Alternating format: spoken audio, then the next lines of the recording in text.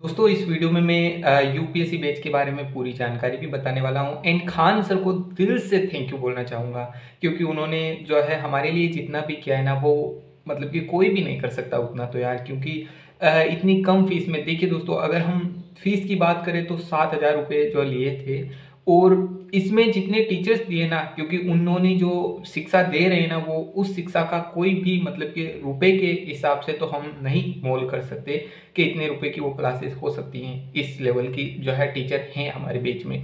Manikant sir हो गए, Rajesh sir हो गए, रामेश्वर सर हो गए, धर्मेंद्र सर हो गए, चाहे कोई भी सचिन सर हो गए मतलब कि सब एकदम बेस्ट टीचर हैं। इन, उनके पढ़ाने का तरीका, पढ़ाने का ढंग सब सबसे अलग हैं। एक अलग अंदाज में, जो खान सर ने चाहा था वही किया। उन्होंने कहा था कि जो इंडिया की बेस्ट फैकल्टी है, वही इस बैच में रहेगी। भले ही फ़ीस कम है, लेकिन क्वालिटी के साथ जो है समझौता नहीं किया जाएगा। हमारे लिए जितना भी क्या है, वो कोई भी नहीं कर सकता। सर, आपको बहुत बहुत दिल से धन्यवाद है।